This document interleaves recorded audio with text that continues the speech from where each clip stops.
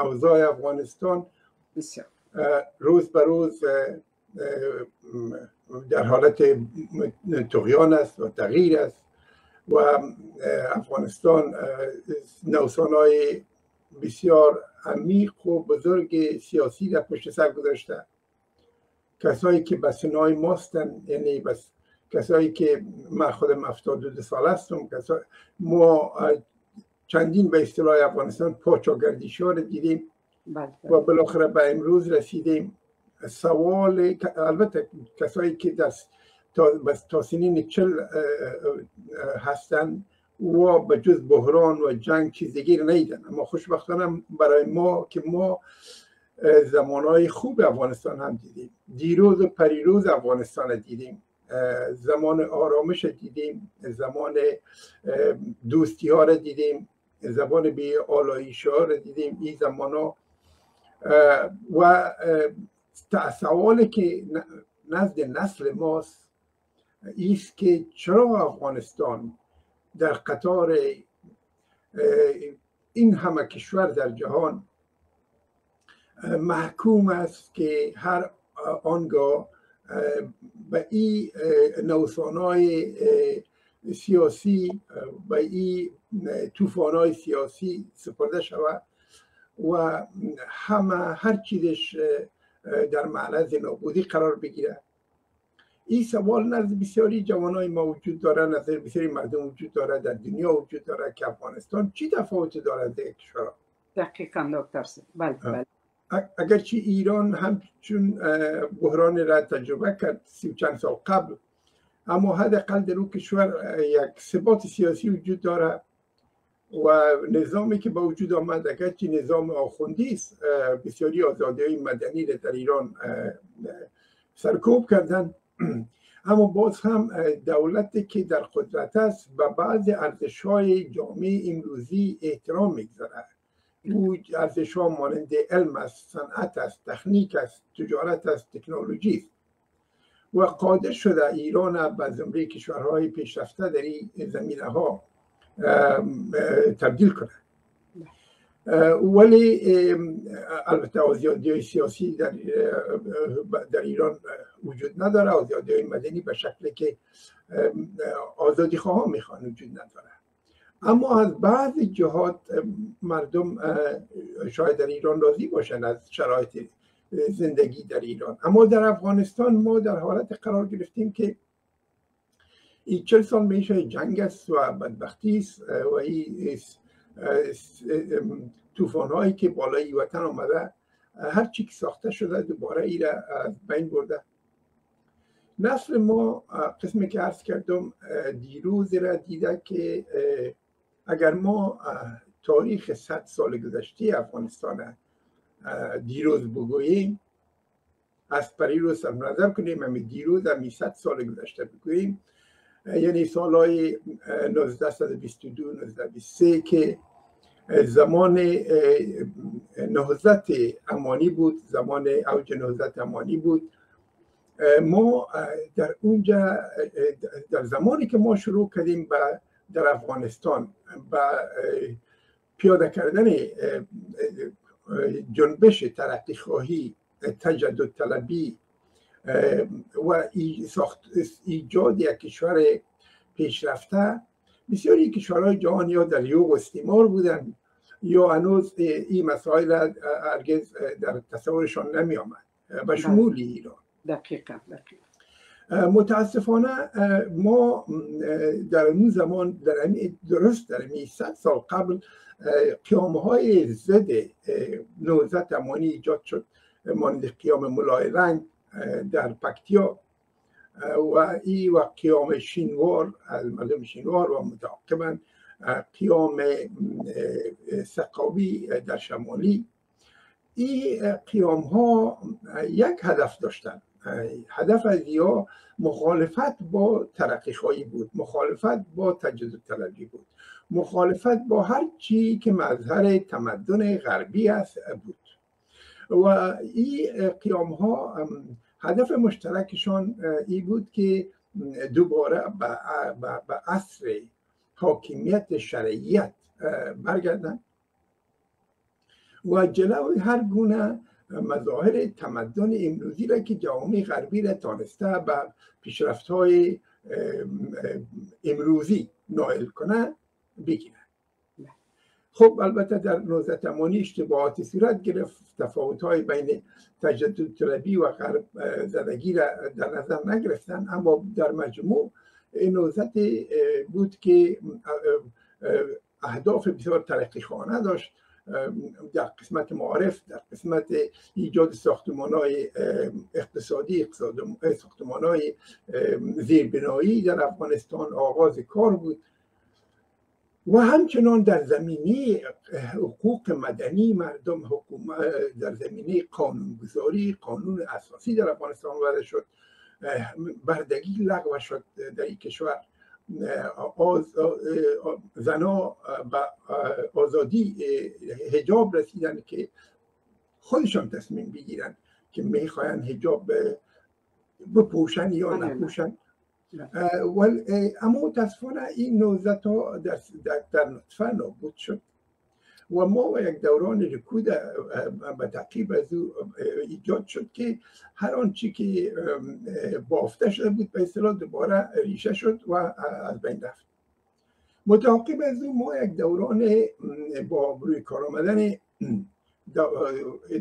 دولت حضرت نادرخان ما یک و بعد از او حضرت محمد زاهد شاه ما یک دوران طولانی 44 ساله پیشرفت تدریجی را تجربه کرد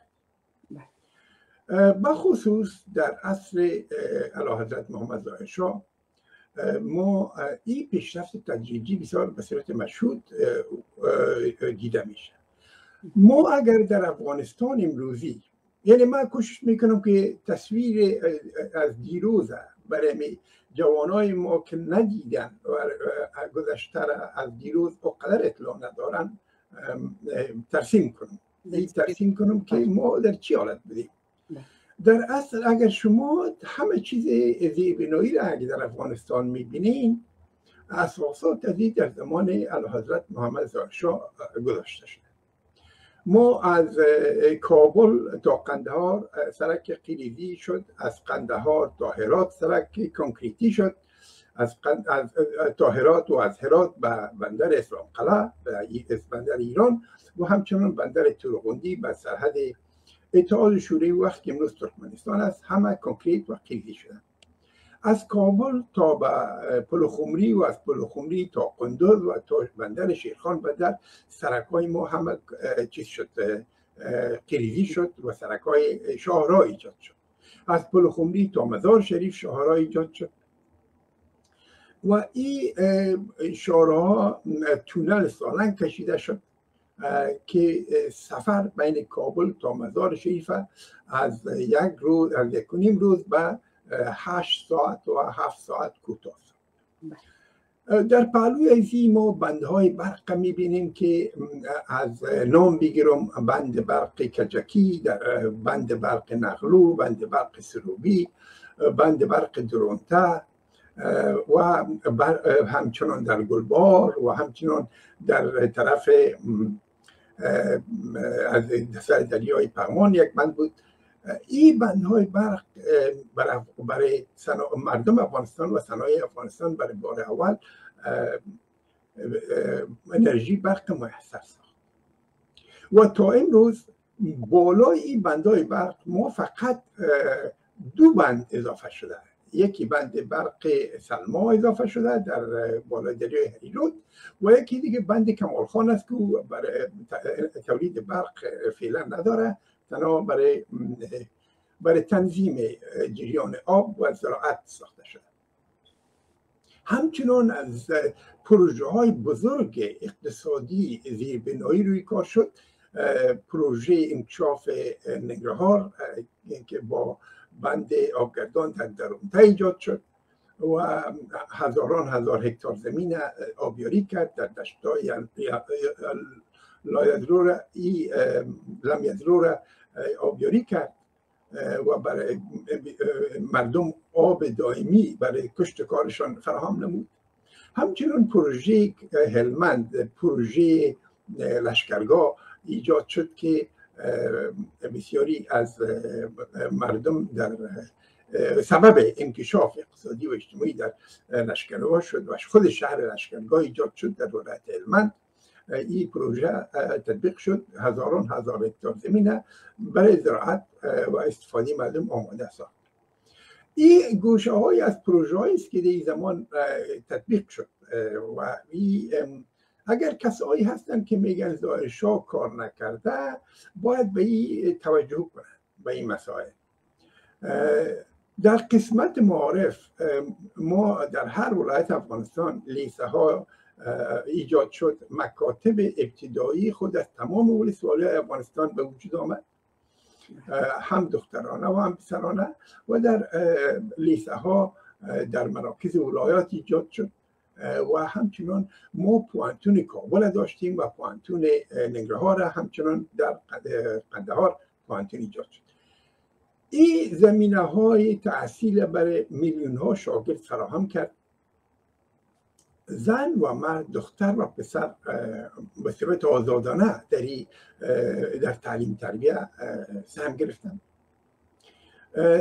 ما در, در دوران زایشا ما ده سال اخیر دولت تزیر حکومت تزیر ما یک به نام دوره دهه دموکراسی داریم دهه قانون اساسی یاد می‌کنیم که در این دوران قانون اساسی 1343 یا 1964 به میان آمد. برای اولین بار در افغانستان دموکراسی معرفی شد برای مردم. و مطبوعات آزاد شد حق آزادی بیان برای مردم داده شد آزادی اجتماعات داده شد. و این سبب ازی شد که افغانستان جامعه افغانستان مردم افغانستان از سیاسی به سطح تازه ارتقا پیدا کنند. بسیاری از رهبران سیاسی که امروز در افغانستان وجود داره زاده امی ده سال دموکراسی دموکراسی ها همیش مشکلاتی هم در, در پهلوی خود دارند اگر ما دموکراسی را قبول می‌کنیم باید در مشکلات از هم قبول کنیم و بپذیریم که پیاده کردن دموکراسی در کشور عقب مانده مانده افغانستان کار آسانه نیست.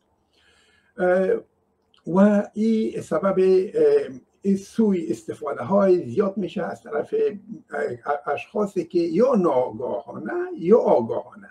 سبب مشکلاتی میشه که به ضرر مملکت مبدل میشه. اما ما نمی‌تونیم به خاطر از که دموکراسی امکاناتی را برای بعض مردم فراهم کرده که با ناآگاه که ناآگاهانه یا آگاهانه به ضد منافع ملی افغانستان رفتار می‌کنند ما هم دموکراسی را چیز کنیم قلم بزنیم و او سر خط بکشیم.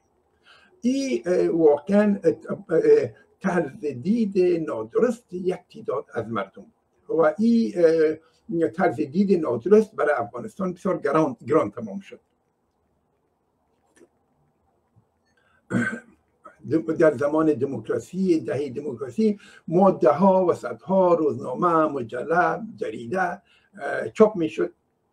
افکار سیاسی از راست و چپ و میانه همه نشر می‌شد. مردم امکان زیر پیدا کردن جوان ها امکان زیر پیدا کردن که با افکار متفاوت و مختلف و متضاد سیاسی آشنا شوند خود پیدا کنن افکار عقاید سیاسی خود در یکی از این دکترین های سیاسی یا اجتماعی پیدا کنند. و این خودش امر مثبت بود. این چیزی نیست که ما این را انتقاد سرش کنیم. اما یک تعداد مردم متاسفانه این را اشتباه فکر کردن.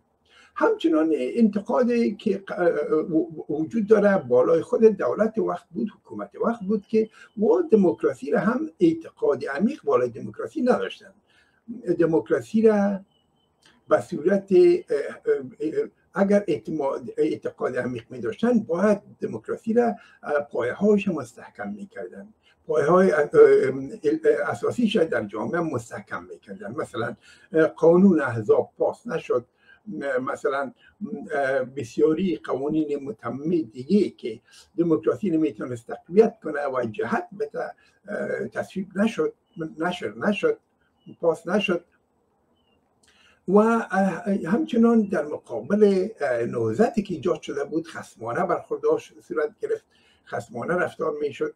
بدون ای که متوجه شوند که ما با این کشور این, این نسل تازه شروع کرده از حقوق اساسی خود استفاده می‌کنه حقوق مدنی خود استفاده می‌کنه. بنابراین این مشکلات ما باید نداریم. از جمله کسایی که با دموکراسی برخورد خسمانه کردن. سردار محمد داود خان صدر سابق بود که او از ای, ای, ای آزادی های اجتماعی را آزادی های مدنی را آزادی های سیاسی را به حساب بیبند و باریق تلقی, کرد و فکر می‌کرد که به اساس گفته ها و نوشته های علاقمندان سیاسی طرز دید داود خان. از اون موعد استنباط می‌کردیم که به نظر داود خان باید اول کشور به سطح بالای از انکشاف اقتصادی اجتماعی و فرهنگی نائل می‌شد بعد دموکراسی معین این برداشت نادرستی است. یک کشوری ای کار نکرده.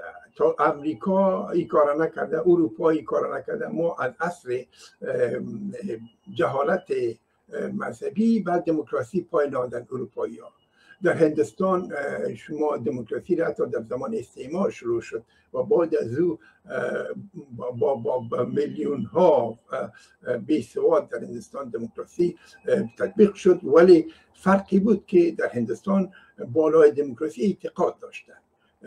از نتایج دموکراسی را با دل جان قبول کردن. هر دولتی که هر زعیمی که در انتخابات شکست خورد با کمال احترام به حریف خود تبریک گفت و از صحنه خارج شد و خود آماده کرد به دور دیگه انتخابات.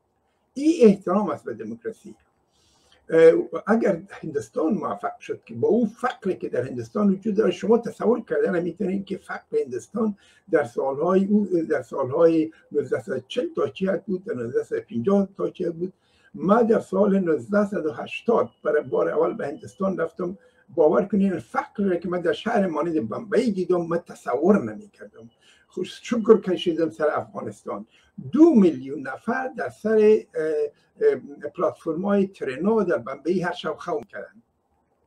یک چند میلیون دیگر سر پیاده در تمام شهر خوم می‌کردن.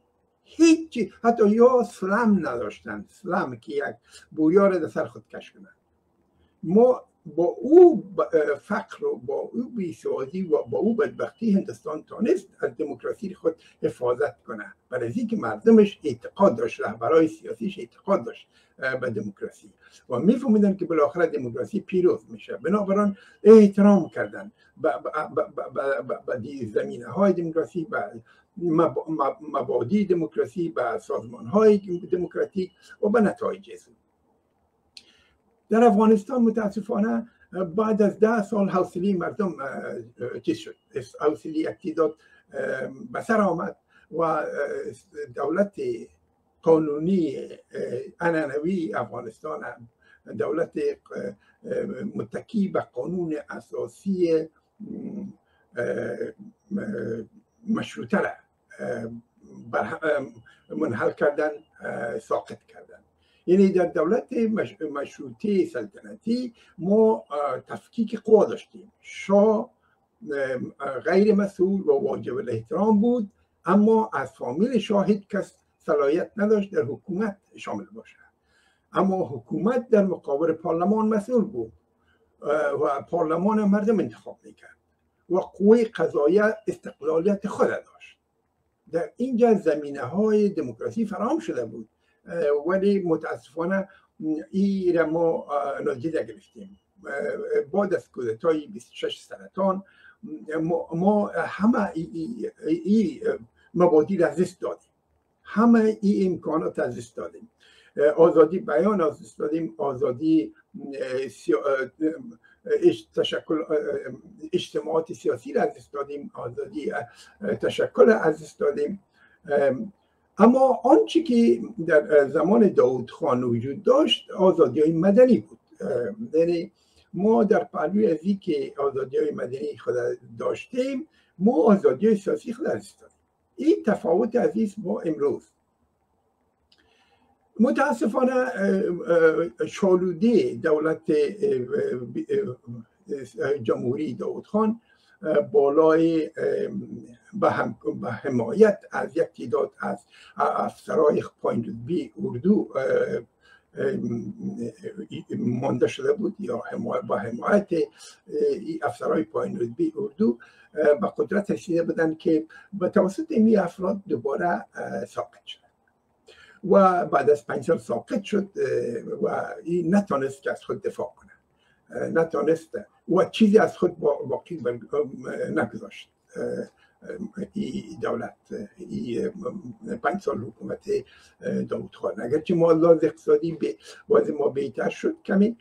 اما از ما با با معرفی یک عنصر جدید در سیاست افغانستان در, در دولت در, در تغییر دولت ها در افغانستان که کودتای نظامی بود ما به یک مرحله خطرناک تازه داخل شدیم.